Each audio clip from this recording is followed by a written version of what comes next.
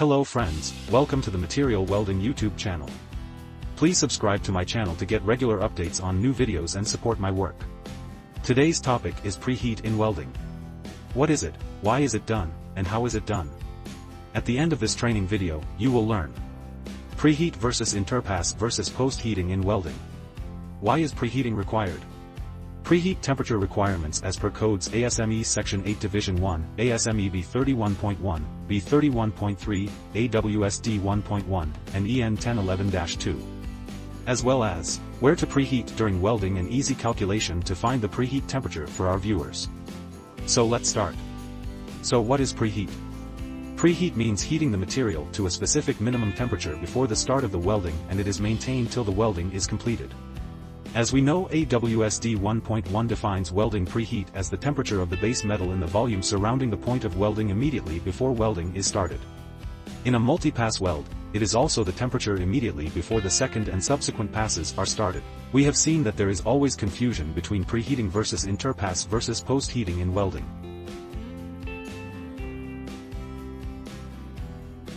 So preheat is the temperature of the base metal in the volume surrounding the point of welding. Preheat is specified as a minimum temperature that the material must reach before welding. Preheat is usually applied for up to an hour before welding to ensure that the temperature is even and preheat is the minimum temperature. On the other hand, when we talk about interpass temperature, it is usually specified as a minimum adjacent base metal before the next welding pass is started.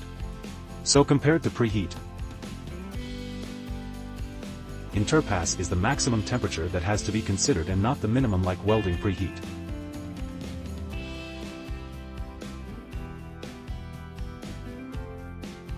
Looking at the post-heating, it is applied for hydrogen release after the weld has been completed.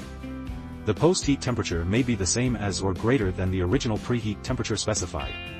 But care must be taken note to allow the joint to cool before applying the post-heat, if needed. So why preheating is required? This is a widespread question. Preheat slows down the cooling rate of weld metal, heat-affected zone, and adjacent base metal thus yielding a good microstructure to the weld metal and preventing martensite formation at the microstructure level thus preventing cracking of the weld metal and heat-affected zone.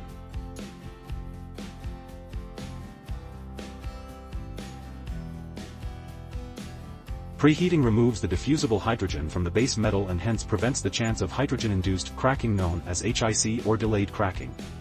Preheat helps in reducing the expansion and contraction rate in the weldment and weld joint and hence reduces distortion in welding. Preheat burns the unwanted material or impurities. Preheat helps to remove moisture thus helping to eliminate the porosity. Preheat lowers the residual stresses in the welding joint and preheat tends to improve the ductility of the welding joint. How to choose welding preheat temperature.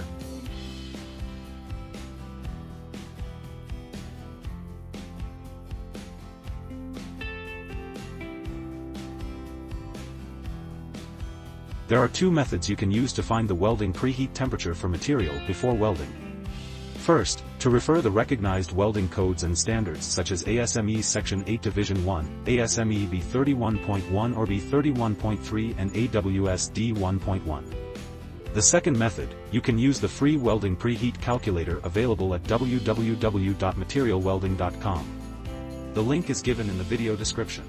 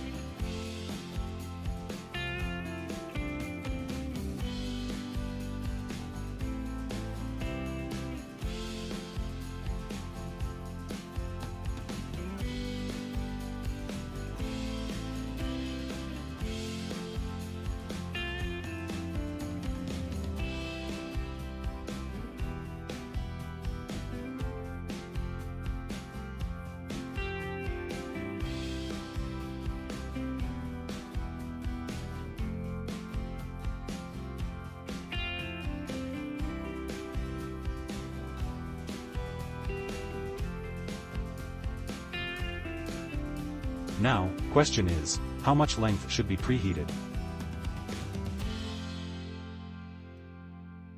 As per ASME B31.1, the base metal temperature before welding shall be at or above the minimum preheat temperature specified in the table 131.4.1-1 in all directions from the point of welding for a distance of 3 inch or 1.5 times of base metal thickness.